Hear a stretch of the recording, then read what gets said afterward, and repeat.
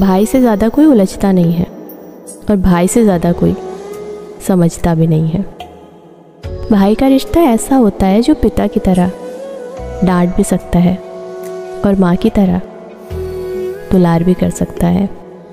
जो बहन की तरह लड़ भी सकता है और एक अच्छे दोस्त की तरह मुसीबत में साथ खड़ा हो सकता है। हैप्पी रक्षाबंधन भाई।